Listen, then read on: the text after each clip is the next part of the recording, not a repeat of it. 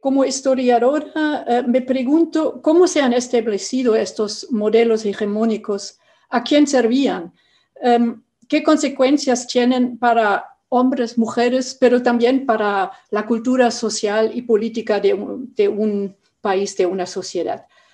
Em, es importante mencionar también que los modelos sobre que hablamos en realidad son variables, no son solamente binarios y que las características concretas pueden cambiar em, de, un, de tiempo y lugar, eh, de una situación a otra em, y de clase a etnia, por ejemplo pero hay ciertos rasgos comunes y estructuras de largo plazo que son los que a mí me interesan.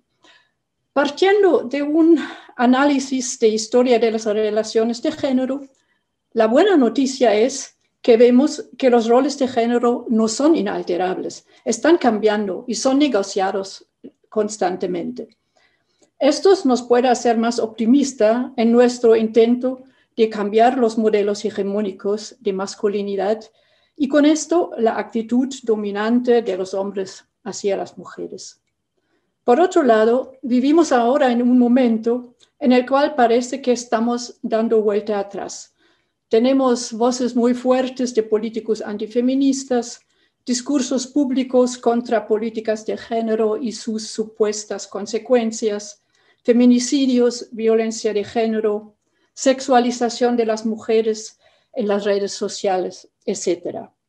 Y esto es, digamos, la mala noticia también desde una perspectiva eh, histórica, que este desarrollo no es lineal, no hay un progreso constante, sino roles de género pueden también cambiar en un sentido negativo que refuerza la desigualdad y la hostilidad hacia las mujeres. Por esto es importante también em, darle a nosotros una dirección de este desarrollo en una dirección que deseamos y vigilar que no vea en la otra. Pero pasamos ahora a la historia latinoamericana y algunos desarrollos de larga duración. Hay a mi juicio dos momentos claves um, y es la conquista y la independencia en el momento en que también la ilustración europea cambia um, las ideas sobre la nación y el Estado. Um, marcan el inicio de una modernidad que nos llevaron a los problemas que discutimos hoy. La ilustración empezó a privilegiar la razón y la lógica sobre los sentimientos y conectaba la razón y la vida pública con lo masculino y los sentimientos y el mundo femenino con, eh, y el mundo familiar con lo femenino. Además, colocaba este mundo familiar en un ámbito, privado donde gobernaba el patrón.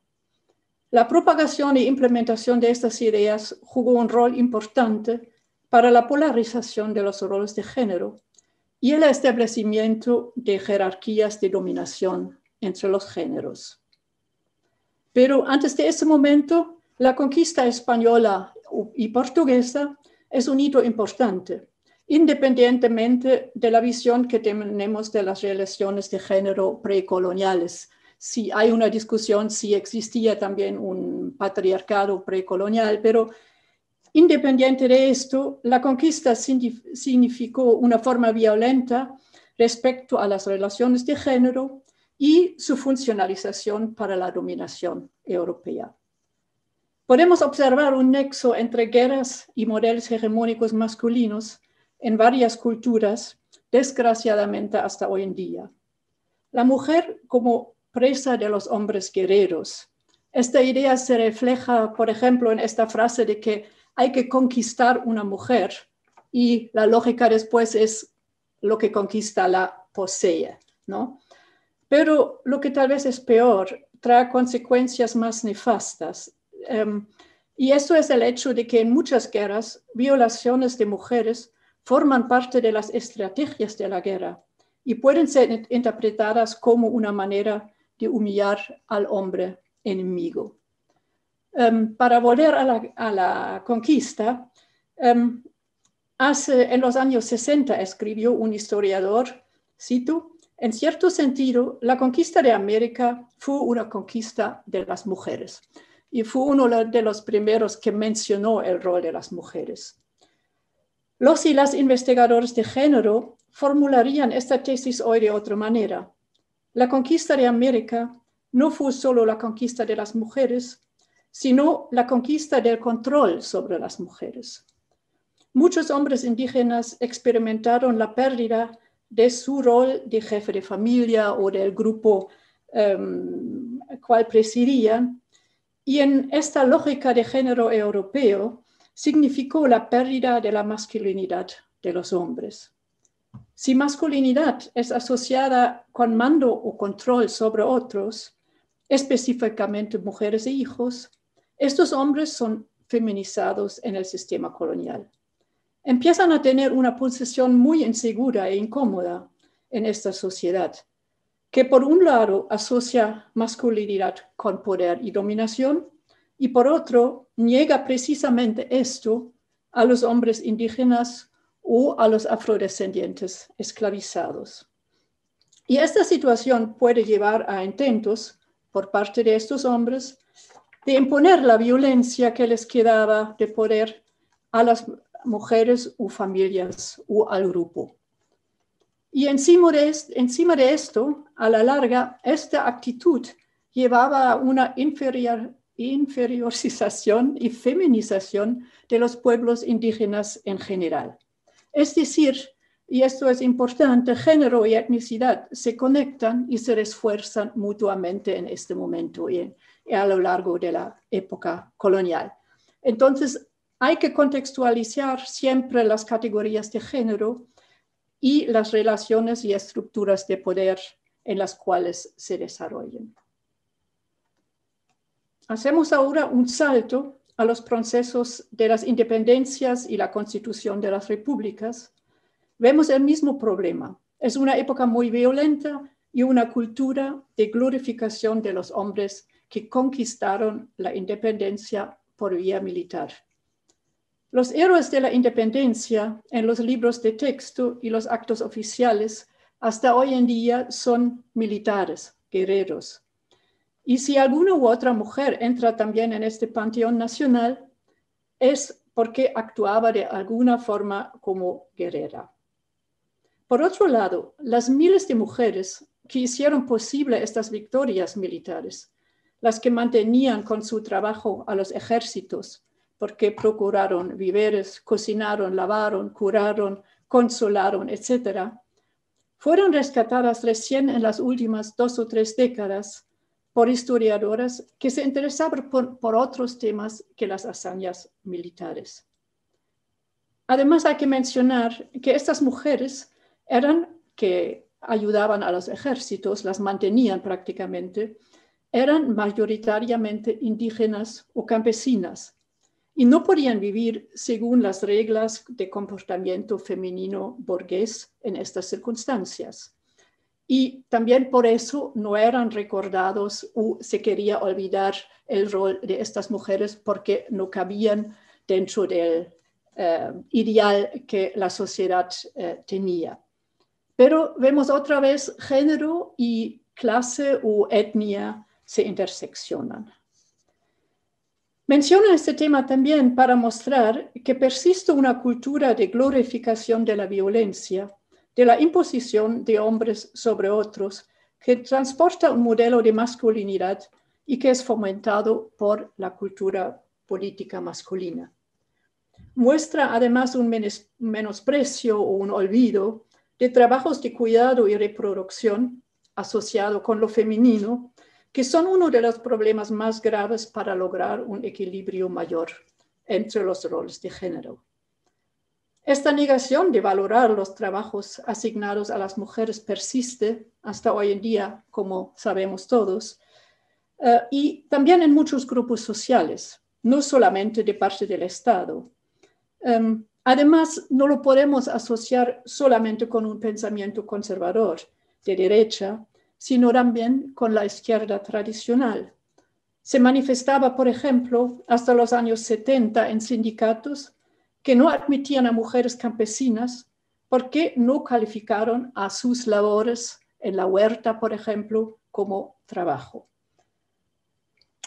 Em, Hablando de izquierda tradicional, también hay que modificar ciertas ideas respecto a la importancia de los modelos de género para la lucha política social. Um, uh, relaciones de género no son uh, lo que en la terminología marxista se llama una contradicción secundaria, que se puede posponer hasta haber llegado a una sociedad más justa o socialista, um, y no deben ser uh, subordinados a cuestiones de clase o etnicidad. Como hemos visto arriba, estos temas son íntimamente ligados. Los roles de género son fundamentales para todas las relaciones sociales y políticas y no se las puede disociar de otras categorías como clase o etnia. Si queremos llegar a nuevos modelos de masculinidad y feminidad, hay que salir de este marco interpretativo de que el trabajo asociado con lo femenino, cuidado, reproducción, educación, es menos importante que lo masculino, militante, productivo, um, en aspectos formales políticos, tanto a nivel estatal como a nivel comunal y dentro de las familias. Y también mostrar a los hombres lo que ellos pierden si no valoran ni participan en las tareas supuestamente femeninas de cuidado. Pero para terminar, con el poco tiempo que me queda, em, quiero también eh, mostrar un ejemplo un poco más alentador. Quiero hablar brevemente de un momento en el cual las mujeres sí lograban, hasta cierto punto, que sus trabajos reproductivos eran tomados en cuenta por parte de la sociedad y lo aprovecharon para demandar cambios en el derecho civil y plena ciudadanía para ellas.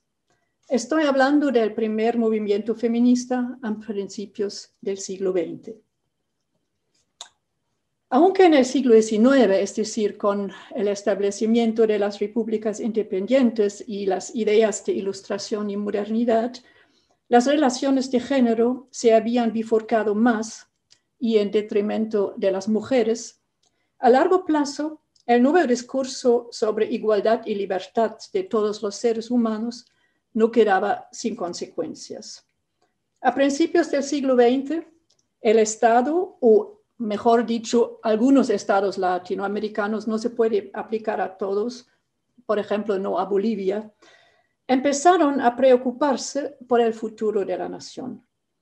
Altos números de mortalidad infantil y otros temas supuestamente privadas y de incumbencia femenina empezaron a preocupar a médicos, higienistas y estudiosos de la población, que veían en los niños eh, los futuros trabajadores y soldados y por esto esta alta mortalidad les em, inquietaba. Y en esta situación, los trabajos de cuidado y de reproducción de repente entraron al ámbito político y algunas mujeres, por supuesto, eran mujeres educadas, eh, médicas, eh, profesoras de colegio, etcétera, sabían aprovechar este discurso para pedir derechos ciudadanos y cambios en la legislación civil, eh, discriminadora. Fue un movimiento, movimiento burgués, por supuesto, y no funcionó en todos los países, pero es un ejemplo de que es posible una revaloración y renegociación de los roles de género. Lo que no veían las mujeres de este movimiento a principios del siglo XX era que para tener realmente un impacto hubiesen tenido que cuestionar también el modelo de masculinidad, en vez de solamente insistir en la eh, importancia social de la maternidad. Como dije al inicio, un tema importante para cambiar los modelos hegemoniales de masculinidad es, es perdón, visibilizar y dar importancia a los trabajos y valores asociados con los roles femeninos para la sociedad en general, pero no solamente como un elemento más al lado de los hombres uh, supuestamente um, al lado de los valores masculinos de fuerza y poder, sino llegar a una complementariedad entre las dos categorías y los géneros. Y para esto debemos liberar a los hombres de la idea de que la masculinidad se manifiesta solamente en, su en la imposición de su voluntad, y sea por vía violenta, sino en un comportamiento respetuoso hacia el otro y a las futuras generaciones. Así diría como la naturaleza, pero esto es otro tema. Y creo que con esto he usado mis 15 minutos um, y muchas gracias por escuchar. Muchas gracias, Bárbara. Ha sido enriquecedora su intervención. Pedimos a Virginia Illón que pueda hacer uso del micrófono, por favor. Bueno, eh, buenos días a todas, a todos. Eh, muchas gracias por invitarme a participar en este coloquio. Y de inicio celebro que este, entre las especialidades eh, de sus estudios, Bárbara haya elegido también el tema de la, de la guerra, eh, al que yo también haré referencia y en correlación obviamente con ese em, título del libro ya clásico de Rita Segato, La guerra contra las mujeres. Y yo he tomado este título para hablar en un lenguaje de guerra, es decir, en un lenguaje de estrategia militar, em, de los frentes que supone esta guerra, ¿no? Y mm, sin duda son muchos, pero yo destacaría tres. En primer lugar, el Estado, ¿no? porque el Estado moderno este, em, concentra las características em, capitalistas, patriarcales, colonialistas que signan el Estado moderno. ¿no? Y mm, eh, además, cómo estas características norman también la sociedad desde la formación de este Estado. Esto es importante recalcar, me parece, porque em, el colonialismo, por ejemplo, es algo que baña todas nuestras relaciones. A veces eh, se interpreta como que solo habría eh, tenido efectos en las poblaciones indígenas. Sin duda han sido los efectos más letales pero la lógica del colonialismo desde el hecho colonial ha eh, bañado y marcado la estructura, la segmentación en nuestra sociedad y por lo tanto podemos decir que todos y todas funcionamos en esquemas patriarcales, en esquemas este, colonialistas y en esquemas capitalistas. Entonces el Estado es uno de los eh, frentes fundamentales en esta guerra. Digamos que otro podría ser el de la sociedad, y que llevaría a otro término también un poco de guerra, que es el de las alianzas, ¿no? Y hay un otro frente que yo le llamo el frente interno, que sería el de las mujeres, ¿no? Em, y en esta ocasión me voy a referir al primero y al em, tercero, no tendré tiempo de desarrollar el de la sociedad. Obviamente, esta guerra, ¿no? Tiene su origen en las relaciones de género desiguales en un sistema de opresión que está en la base de las otras desigualdades y esto también me parece importante recalcar, que lo, decimos, lo decimos y lo repetimos, pero a veces a efectos de algunas acciones, incluso algunas políticas, solemos olvidar que estamos hablando de un sistema de dominación y que no se trata de actitudes, ¿no? Mucho menos individuales, aunque encallan en los grupos y en las personas también. ¿Por qué refiero esto? Porque precisamente en el tema este de las masculinidades, eh, temo que se pueda producir lo que ya se ha producido con otros temas provenientes del sistema interpelador del feminismo, que es pues este, esta cooptación del carácter eh, interpelador.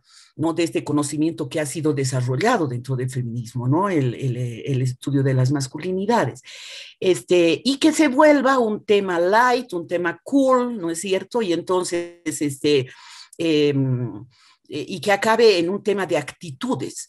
Si es que no insistimos que estamos hablando de un sistema de dominación, el, em, el, poder muy rápidamente va a agarrar esto y lo va a volver un producto comercial, ¿no es cierto? O sea, los hombres verdaderos son los que cambian pañales y ahí se va a acabar el asunto. Y este, em, me parece que hay que tener una, em, una alerta permanente y eh, estar siempre eh, conscientes de que estamos hablando de un sistema de dominación. Bueno, entonces entre estos frentes, si hablamos del frente del Estado, el frente de la sociedad y el frente de nosotras en esta guerra, estamos hablando de la política. Y ahora que en Bolivia nos referimos y estamos buscando, reflexionando el cómo el colonialismo y el patriarcado han, han, marcado las instituciones, han marcado la sociedad y la cultura, etcétera, mm, parece que no nos preguntamos si la política ha sido colonizada o cómo habría sido colonizada la política. Y yo creo que la respuesta es obvia. Eh, Aquí, por ejemplo, me eh, parece importante resaltar eh, un ejemplo que pone la Silvia Rivera en sus estudios sobre el colonialismo a lo largo de la historia del país. Y ella eh, relata cómo en la, en la colonia misma, una de las primeras, em, uno de los primeros elementos colonizados fue la política, precisamente, en el em, Em, en los tratos del Estado ¿no? con los indígenas ilustrados fundamentalmente, que ella dice, estos indígenas ilustrados empezaron a hacer política.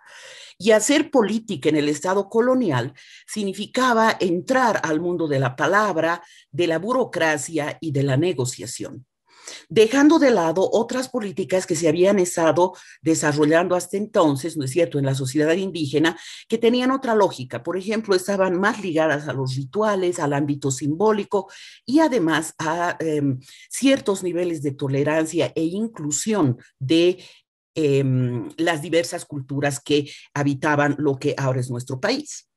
En el mismo sentido, eh, no solamente a nivel histórico, sino incluso a nivel em, actual etnográfico, también se ha documentado ya en varios lugares la existencia de espacios autónomos de mujeres dentro de las comunidades espacios autónomos que no estoy diciendo separados, estoy diciendo espacios de mujeres donde agenciaban espacios de producción, espacios de ritualidad, pero también espacios simbólicos. Em, y que llegan incluso, como en los estudios de Denise Arnold sobre los indígenas cacachacas en el norte de Potosí, y especialmente de las mujeres tejedoras cacachacas, estos espacios autónomos de mujeres eh, llegan incluso, ¿no? El poder que tienen, llegan incluso a nombrar la masculinidad, es decir, a establecer a través de ese lenguaje simbólico las, eh, los roles de género dentro de esas comunidades. En el mismo sentido, podemos hablar de la experiencia de la Federación Obrera Femenina ya en el siglo XX, que también era un espacio autónomo de mujeres dentro de la Federación Obrera local, donde las mujeres también agenciaban, pero eh, sus asuntos, a mí me encanta esa palabra, nuestros asuntos, ¿no? Este, agenciaban sus asuntos, pero con un poder este, dentro de la misma em, eh, organización de la FOL. En la, eh, el caso de la Federación Obrera Femenina es uno de los más importantes y yo creo que eh, se puede relacionar, por ejemplo, con el de las mujeres zapatistas que nunca tuvieron este, em, miedo ni aprensiones de exigir a sus compañeros de lucha, de exigir a sus compañeros de organización el tema del respeto de sus derechos al interior de la organización, pero además hacerlos públicos. Y por otra parte, este, eso también habilitaba a que esas demandas que provenían de este espacio de las mujeres eh, se puedan luego incluir con fuerza en la agenda este, de las organizaciones. Eh, estoy hablando de tres, de tres ejemplos, ¿no es cierto?, históricos, presentes, más lejanos, más cercanos, que, que significan una memoria de otro tipo de política. Y no hay que olvidar que una de las estrategias del poder, de todo poder, es la eliminación de la memoria. Y yo tengo la impresión que estas son las cosas que eh, podemos llamar la patriarcalización y la colonización de la política, porque lo que ha hecho esto es asentar una sola forma de hacer política. Y como bien decía Bárbara, ¿no es cierto? Eh, en el ejemplo que ella ponía, pero también en este de la política, este, esta, esta forma de hacer política, que es la negociación, que es el cabildeo, que son los partidos políticos, este, em, que es el establecimiento de un único sujeto histórico y en algunos casos la toma del poder, ¿no? Esa única forma de hacer política es la que se ha vuelto hegemónica desde la derecha hasta la izquierda. Y yo creo que ahí hemos sido tragadas también este, las, mujeres, a pesar de que hemos generado eh, un poco este, em, esta especie de consigna de la otra política, hacer otra política, pero nunca le hemos puesto apellido, qué significa hacer esa otra política. Y este, em, a veces hemos recordado todas estas cosas y decimos, sí, pero hemos estudiado la Federación Obrera Femenina, sí, pero, pero de una forma emblemática. Y con em, eh, em, lo, que, lo que está sucediendo en nuestro país, también nos damos cuenta cómo lo emblemático, cómo eh, traer unas mujeres este, heroínas, del pasado, este, em, poner emblemas, eh, había sido una forma de silenciamiento y una forma de domesticación también. Em, y en ese sentido, eh, esto también debe entrar en nuestras reflexiones. Decía, decía que entonces este, no le hemos puesto apellido a esto que decimos otra política en las distintas este, versiones del feminismo, ¿no? Pero eh, sí nos hemos metido esa política en una relación privilegiada con el Estado. Veamos, por ejemplo, en el caso de la violencia contra la mujer. Nuestras demandas al Estado son unas demandas a posteriori, o sea, tiene que suceder la violencia para que le pidamos al Estado el castigo. Es decir, em, que nos proteja porque nos violentan. Entonces, eh, tiene que suceder que las mujeres seamos violentadas, agredidas o asesinadas, ¿no? Para pedirle al Estado, ya ahora usted castigue. Este es un juego bastante, que puede ser en algún momento incluso bastante peligroso porque suponemos, ¿no? Por supuesto existe la violencia, pero el, trabajar en base a que exista en este, en este a posteriori las políticas eh, públicas es algo eh, peligroso, pero además tiene que ver con esto que también este, en algún momento califiqué como una extremada fe en el Estado, cómo poner los huevos en un solo cesto. Y las amas de casa sabemos que cuando hacemos eso se va a provocar en algún momento hambre y carestía si ponemos todos los huevos en una sola canasta. Se podrá decir que corresponde a un momento histórico, lo que sea, pero creo que este, esta excesiva, yo diría excesiva fe en el Estado, eh, ha hecho ya crisis. Tal vez por eso estamos volviendo nuestros ojos hacia la sociedad, hacia otro tipo de alianzas. Porque lo mismo en la prevención le decíamos, bueno, señor Estado, ahora usted por favor eduque a las nuevas generaciones, ponga en su currículum esto y el otro. Este, y lo que sí podemos decir es que si algo ha sucedido, es que en términos del lenguaje del Estado también, eh, podemos ahora revisar la eficacia y la eficiencia de eso respecto de eh, nuestros derechos y yo creo que el balance es casi obvio, ¿no? Por otra parte, subsume también esta idea de poner todo en la canasta del Estado, eh, cierta idea de minusvalía, porque necesitamos que nos protejan.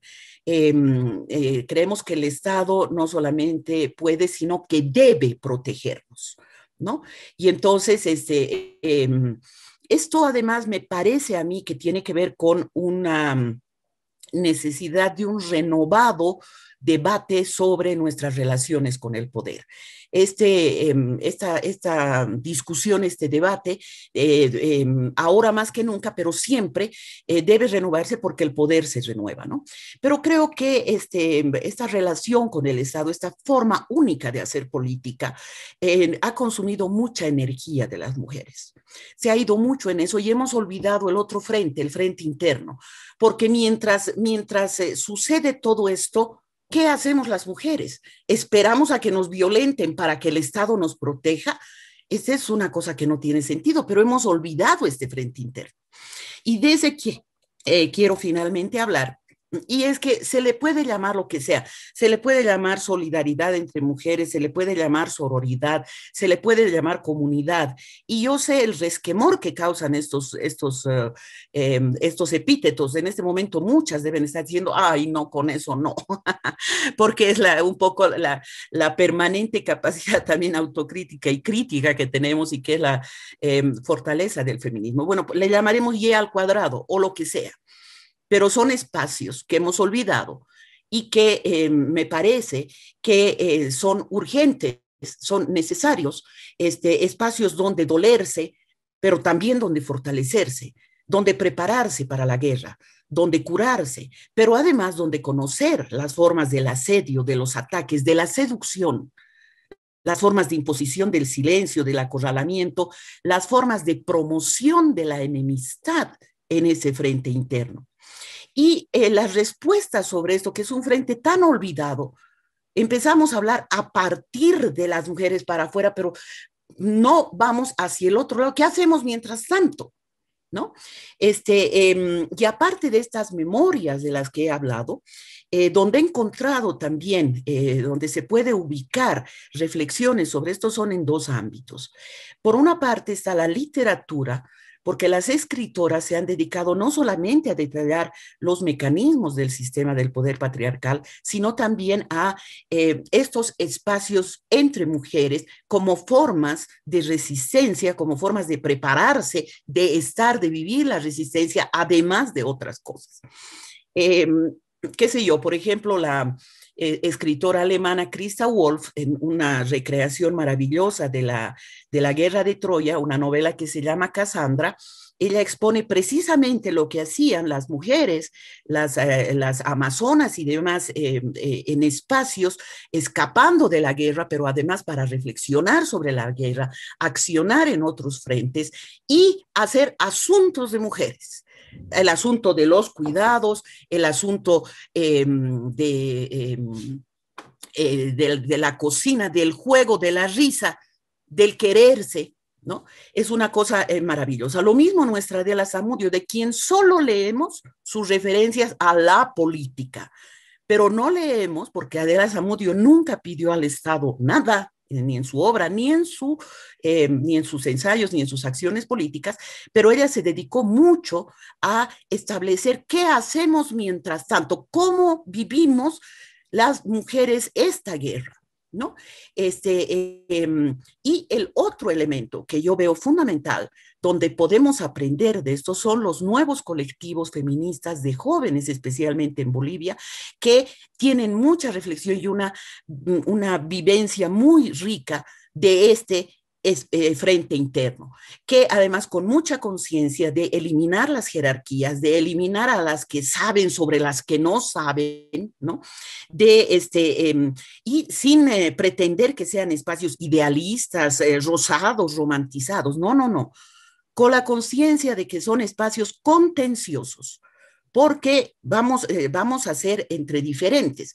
Pero aquí también, y viniendo de la historia y de la literatura, como nos los ha explicado Silvia Federici, en las, eh, la, em, las comunidades heréticas en la Edad Media, ¿no es cierto? Y en su resistencia a, la, a la, exacción de tierras, eh, justo cuando el capitalismo estaba empezando a imponerse, que es el, poder que tenían estas mujeres, un poder muy grande también en estas comunidades, que tenían por una parte como estrategia, por una parte el conocimiento y un conocimiento diferente ¿no es cierto?, a la técnica, por ejemplo, que se iba desarrollando en ese tiempo, sino más bien el conocimiento sobre sus cuerpos, la sexualidad y demás. Segunda cosa, el activismo y por tanto muchas de ellas fueron quemadas en la hoguera. Y el tercer ámbito, el del arte. Y en el feminismo, yo, en el feminismo boliviano por lo menos, em, los conocimientos provenientes de la academia del, eh, sobre las relaciones de género, por ejemplo, y el arte de las mujeres ha sido tomado de manera emblemática por eso es que, wow, la de la Samudio, em, o estas otras, eh, hemos dejado pasar muchos conocimientos, hemos promovido, les hemos pagado las investigaciones, pero no hemos incorporado los conocimientos de las académicas feministas dentro de lo que se llama agenda porque había un paquete cerrado, el paquete de género y desarrollo, por ejemplo, que era un paquete cerrado, ¿no? O el paquete de las políticas públicas. Hemos perdido estas energías por poner tanta energía en nuestras relaciones con el Estado. Este, entonces, este frente interno me parece que es la gran deuda que nos tenemos. Y para terminar, en el tema de las alianzas, como decía, eh, que ahora se vuelca eh, la mirada hacia las alianzas, me parece un espacio interesante, por ejemplo, este, la cuestión de las masculinidades. Nos debemos también nosotras, por ejemplo, una interpelación fuerte en el feminismo boliviano hacia los activistas de derechos humanos, hacia las asociaciones de derechos humanos, a las que nada les dice la violencia ni el, contra las mujeres ni el feminicidio, porque están también ubicados en esa grande política de los pactos, las elecciones no sé qué cosas. No les dice nada, están en los derechos humanos y no les dice nada. Entonces nos debemos, esa interpelación también hacia esos sectores, ¿no?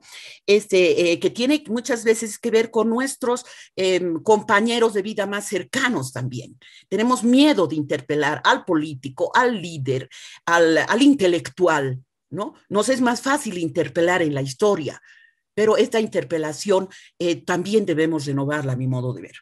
Entonces, yo creo que entre el frente del Estado, en el, que, en el, que tanta energía hemos consumido, y en el frente interno, que lo hemos olvidado, puede estar ¿no? el fortalecimiento nuestro en esta eh, guerra contra las mujeres. Muchísimas gracias. Muchas gracias, Virginia. Enriquecedorísimas sus, sus afirmaciones. Quiero cederle el micrófono a Rita Segato, por favor, eh, para hacer uso de los 15 minutos asignados. Eh, bueno, em, buenos días, buenas tardes a todas las presentes. Trataré de ser lo más eh, breve posible. estoy muy agradecida por esta invitación que me permite poner a prueba algunas de las cosas que he entendido sobre Bolivia y por la preciosa compañía de Bárbara y de Virginia que, bueno, ah, pienso seguir leyendo. Eh, tengo que recordar que, que estamos en Bolivia, que es un paradigma de complejidad, por la cantidad de órdenes diversos que se articulan, que convergen. Eh, Ustedes tienen realmente la gran teórica eh, boliviana y, también con una gran influencia en América Latina y el mundo, que es Silvia Rivera Cusicanqui.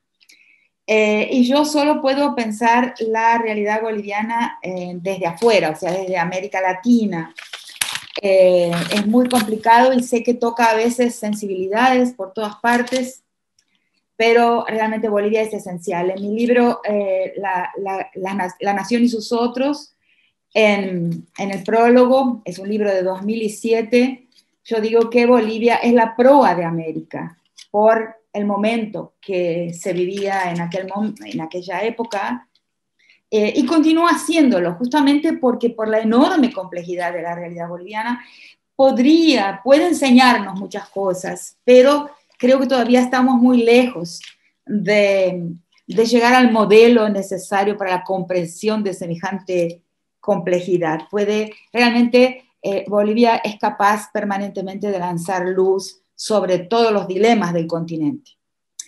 Eh, pero también veo a Bolivia, como he contado muchas veces, desde, eh, desde la frontera andina de Argentina con Bolivia, en la, en la cual he vivido y desde esa frontera eh, de Argentina, que conozco mucho por ahí ya como nativa, como diríamos los, los antropólogos, eh, no como alguien que fue a observarla, sino como alguien que ha vivido y que ha retornado a vivir a ese espacio, y que es un espacio que, en donde quien no es boliviano ha sido boliviano. O sea, la frontera ahí entre los dos países se vuelve artificial, y se vuelve tenue en las comunidades campesinas, o sea, en las comunidades campesino-indígenas, en, eh, el, mercadeo local y regional arraigado y también en las localidades donde la gente vive, como, como he dicho, para algunos estudios que he hecho en Brasil y también para esa región,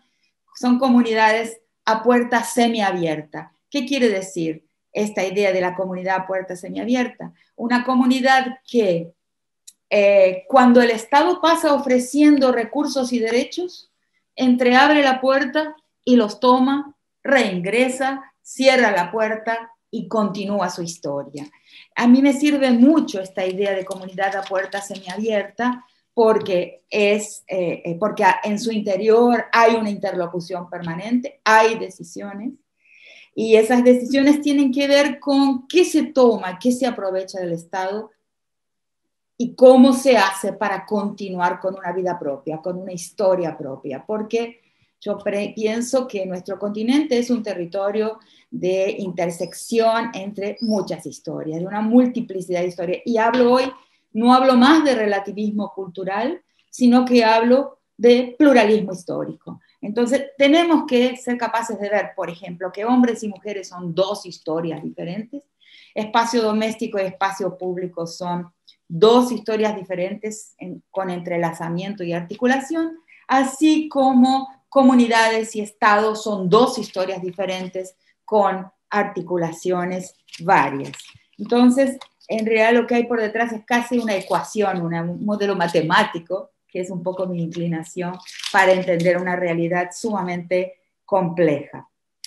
Lo que he visto en esta frontera al sur de Bolivia, al sur de Villazón, fronteriza con Potosí, en estos 50 años, o sea, en que he convivido, me he ausentado y he retornado a ese espacio, es, y eso no puedo negarlo porque es mi experiencia vital, de experiencia de vida, autobiográfica, he visto la, la caída abrupta de la posición de las mujeres campesinas indígenas y las, mujeres de la localidad, las mujeres del mercado en la quebrada de Humahuaca, cuando yo era adolescente, que tenían una autonomía, una soberanía sobre su vida.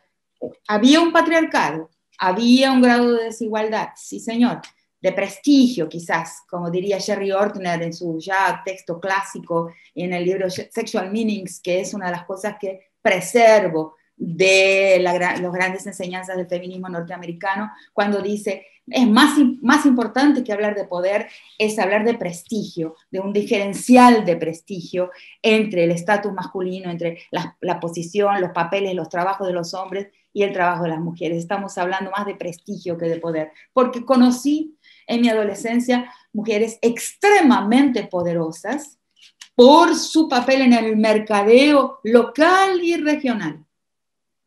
Y luego vi esas mujeres hoy transformarse en aspirantes a Barbies, o sea, eh, hay una barbización, digo yo, en ese mundo y hay una pérdida, ¿no? Eh, em, al en, ese mundo boliviano de Argentina, eh, eh, la pérdida de la pollera significa la pérdida de un cosmos propio.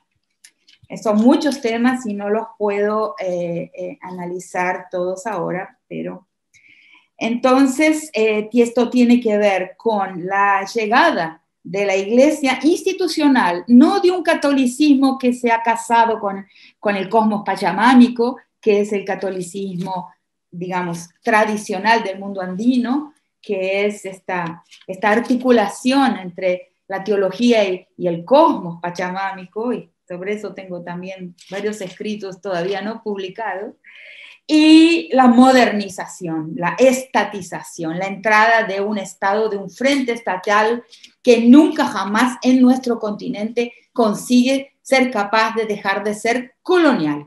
Nuestros estados son coloniales siempre. ¿Por qué? Porque no han perdido, no consiguen perder su exterioridad con relación a la vida comunal, con relación a la vida de la gente. Y ahí retomo, he retomado muy recientemente una idea clásica de la antropología, que es la idea de, las sociedades sin estados. Si hay un descubrimiento fundamental en la historia de mi disciplina, es el descubrimiento en África, pero también Pierre Clastres para los, los guaraní, con su ensayo eh, seminal o ovular, como diría una estudiante mía, no hable profesora de seminal, hable de ovular, eh, eh, que se llama la, la, guerra contra el Estado, la, y, donde descubre que en realidad los guaraníes, los ayés, los guayaquiles, como se llamaban en ese tiempo de Paraguay, en realidad han luchado permanentemente para no tener Estado. Entonces las sociedades sin Estados existen hasta hoy, están ahí, preservan su carácter de desconfianza profunda con relación al Estado.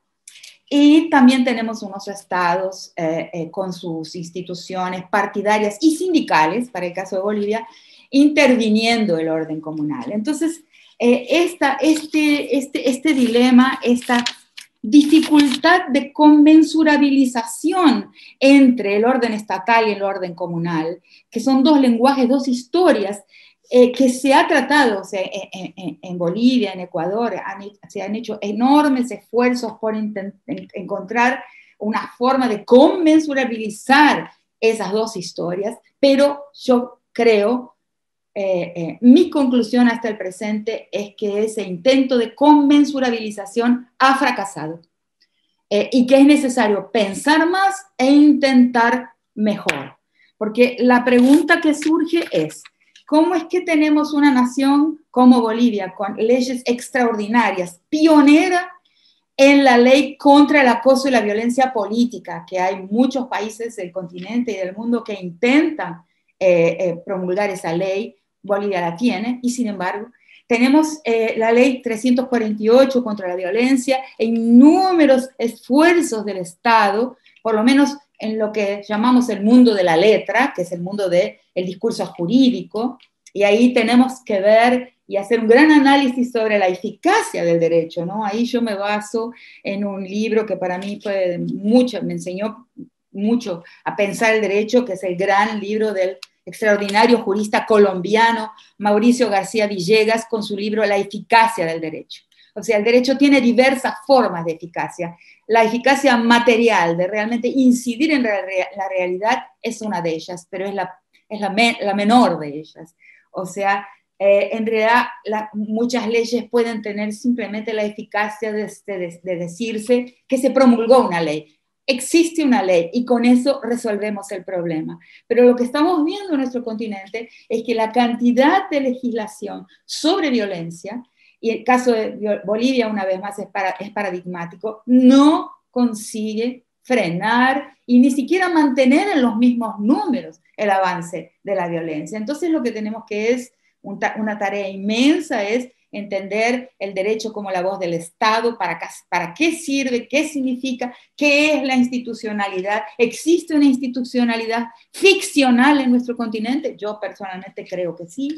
Y ahí el otro gran tema que no quiero dejar de siquiera mencionar eh, y para el cual me baso en tres momentos de la, de la producción teórica académica. Uno, eh, eh, la tesis de maestría extraordinaria que dirigí en 1993 eh, de María Lucia de Macedo Cardoso, una brasileña.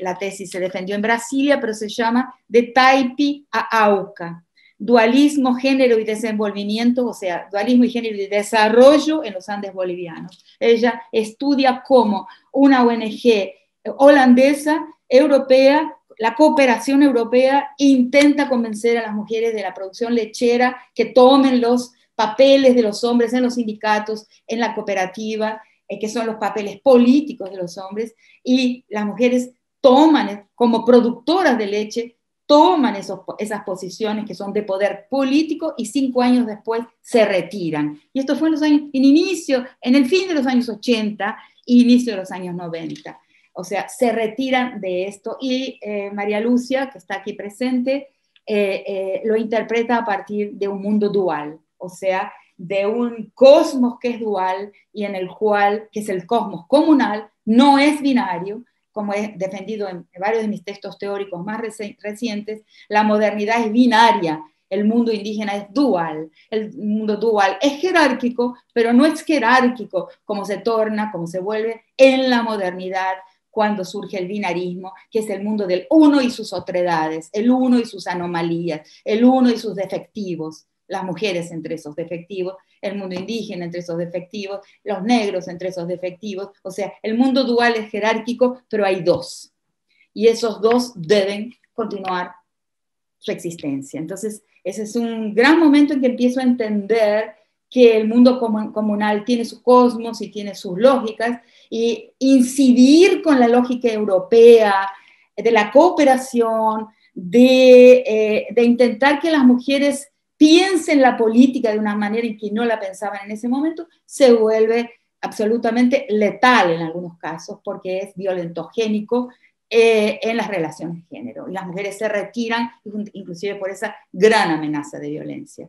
Entonces, ¿qué queremos nosotros con la política y con el feminismo? Matar un mundo, matar una historia, obstruir una historia o hacer que esa historia, como han enseñado las mujeres de Chiapas, continúe en su camino eh, eh, en búsqueda de una igualdad que no es una igualdad de individuos, sino una igualdad de categorías, de grupos sociales, el grupo de las mujeres y el grupo de los hombres. Cuando pensamos la igualdad en, términos individualistas, que es la forma en que el Estado piensa la igualdad, nos perdemos porque ese mundo no es un mundo de individuos, sino de grupos, de categorías de personas.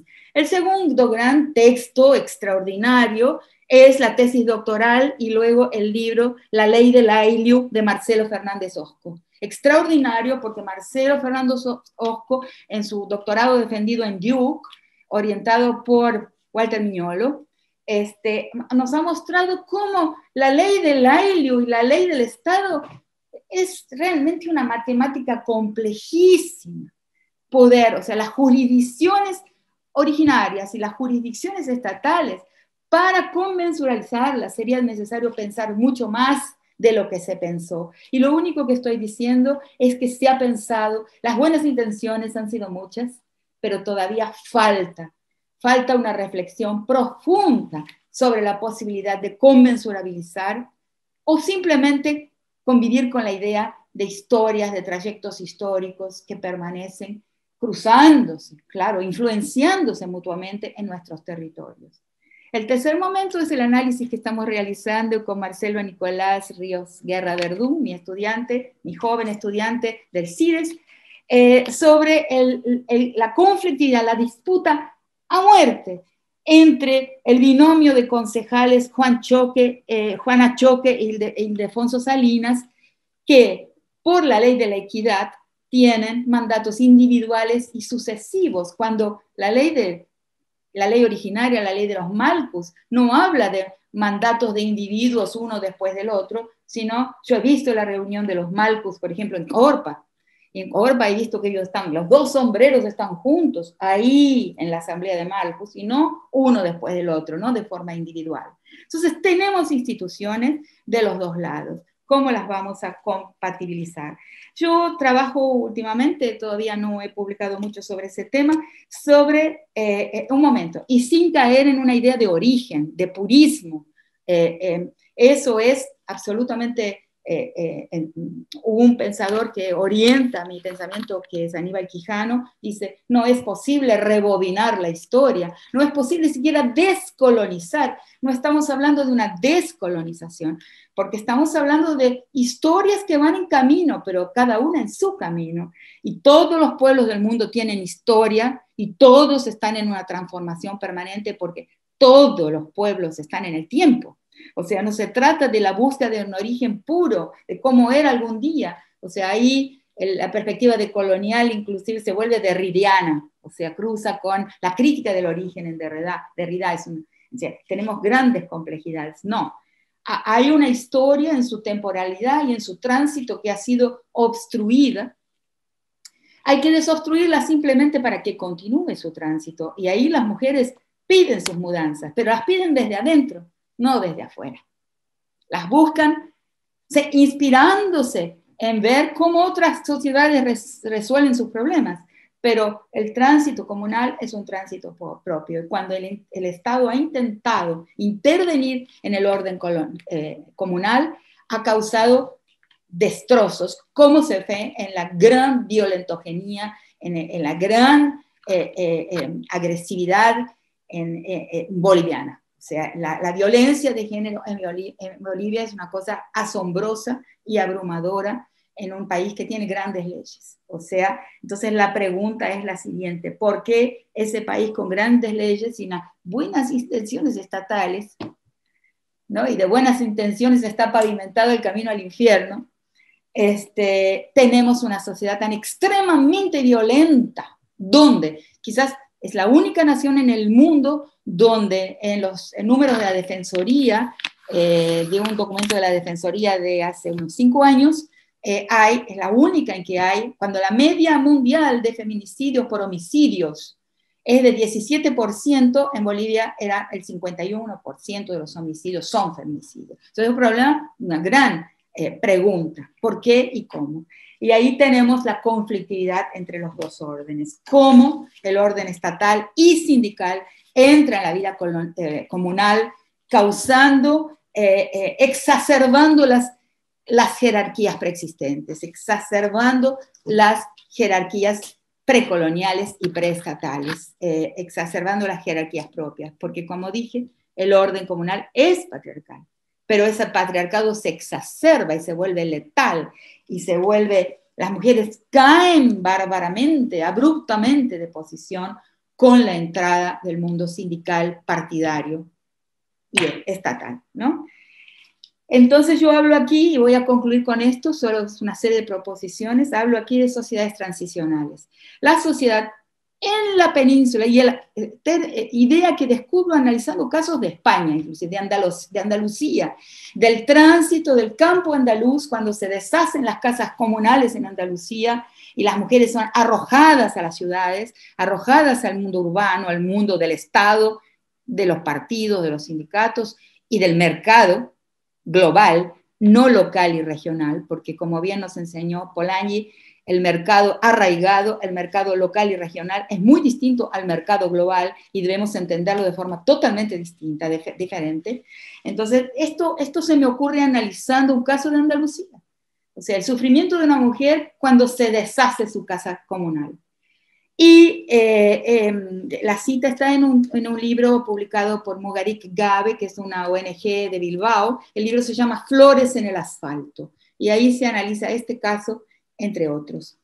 Entonces, eh, em, hablé ahí de sociedades transicionales. Las sociedades transicionales, como todas las nuestras, y como la sociedad española, ibérica también, como allá en la península, son sociedades donde vivimos en un tránsito permanente hacia la modernización, hacia la modernidad, a la cual yo le llamo hacia la blancura. Una blancura inaccesible. Para, para todos nosotros y nosotras, esa blancura que es la modernidad, es inaccesible. Porque vivimos en un paisaje que está estructurado y con estados que tienen un error de fundación.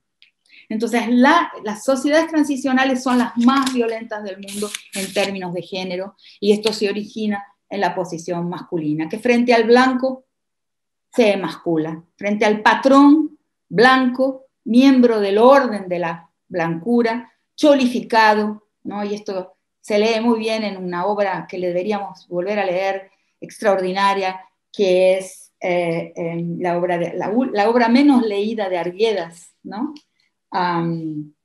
Eh, se me fue el nombre, ¿cómo se llama la obra maravillosa que es la menos leída de José María Arguedas, el autor peruano, eh, Todas las sangres, ahí se ve el papel del cholo, ¿no? Es el más pérfido de todos los personajes. Ha sido inmensamente criticado y ahora está siendo recuperado por el pensamiento crítico. Ese cholo en José María Arguedas, el Arguedas peruano, es el personaje más pérfido, más malvado, porque él está en ese tránsito, ¿no? Hacia la blancura, hacia un tipo de dueñidad moderna, de acumulación moderna que le obliga a sacrificarse a sí mismo y a todos los que están alrededor de él. Entonces, eso eh, es lo último que, coloco aquí porque creo que cumplí con mi tiempo. Son muchas cosas, llevaría mucho tiempo analizar, que es que tenemos como que obligación de eh, examinar con más lucidez posiblemente ese tema de, la, de las sociedades transicionales en tránsito siempre hacia un lugar al que nunca llegaremos eh, y por lo tanto quizás deberíamos abandonar ese tránsito y, buscar otros paradigmas y otras metas históricas de bienestar y de felicidad.